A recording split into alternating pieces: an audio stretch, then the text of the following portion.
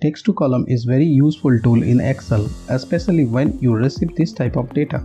This data is in text format in a notepad. Data is separated by comma. The simplest way to open it in Excel file is to drag and drop it in any pre-opened Excel workbook. Now the data is displayed in Excel, but all the data in one cell. Select the column, go to data, click on text to column button or press alt then A then E as shortcut. Select delimited, click next, tick the comma checkbox.